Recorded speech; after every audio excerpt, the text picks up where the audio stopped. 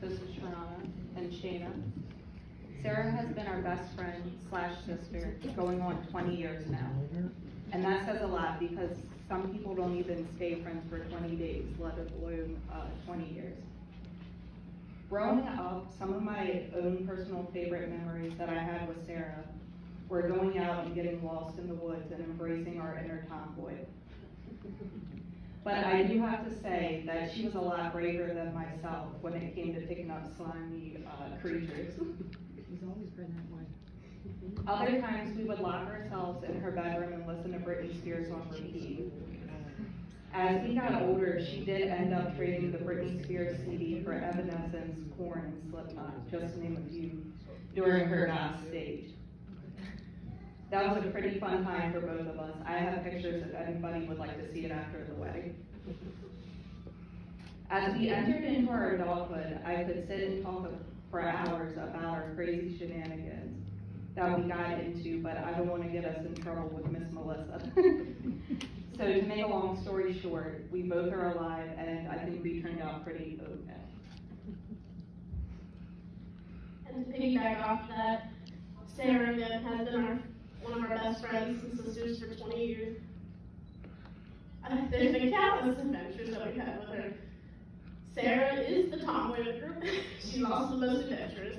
This girl will hike a hill with a sprained ankle, bruised toes, and she will put you to shame. Um, a lot of the things that I definitely learned from Sarah over the years when we were little, and a lot of us in this pack definitely didn't have a lot growing up. And Sarah definitely taught us survival skills. This girl taught us how to suck on honeysuckles. she taught us how to, uh, you know, make ends meet by any means necessary. Uh, she's always down for adventures. A lot of the adventures that we have, you know, it can just be as simple as Pokemon Go. She would know how to find the um, what did you what did you say? It was uh, she found a particular spot Marshy Point that was hacked. she could get all of the random Pokemon from all over the world there. And I remember those nights. I really needed them.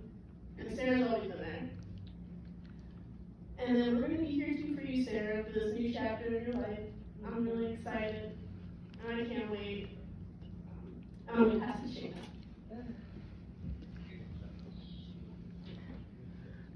I'm a little nervous being up here. But I have a poem for Sarah because I'm not really good at speeches, but to my soul sister, never forget that I love you. If I can give you one thing in life,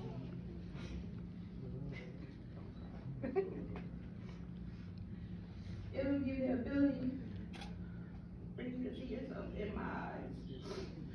Only then you'll realize how truly special you are to me. I'm sorry. But you are a truly great friend. And it's difficult and impossible to replace. You're irreplaceable.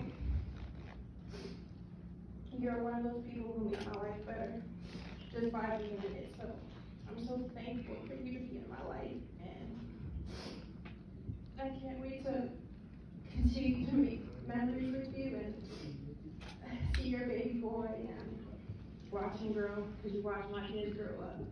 But I love you, Sarah, to infinity and beyond, and congratulations. Sarah girl, I think it's more than obvious, but just to say it out loud, we love you so much. And as you start this new chapter in your life, just know we'll always be there for you every step of the way. So let's toast to the newly married couple and wish them a long and happy marriage. Cheers. Cheers.